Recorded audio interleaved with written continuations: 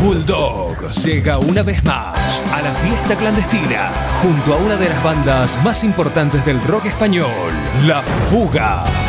El viernes 18 de abril en Groove, una noche para festejar. Viernes 18 de abril, la fiesta clandestina con Bulldog y La Fuga. Nada debería estar prohibido.